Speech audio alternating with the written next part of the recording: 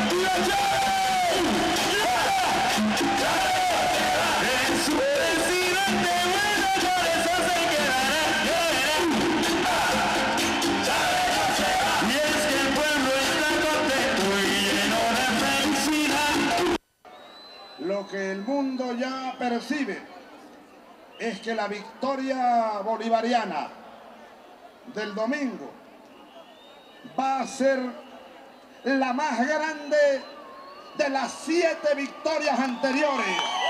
La más grande de nuestras victorias va a ser la del domingo 15 de agosto. ¡La revolución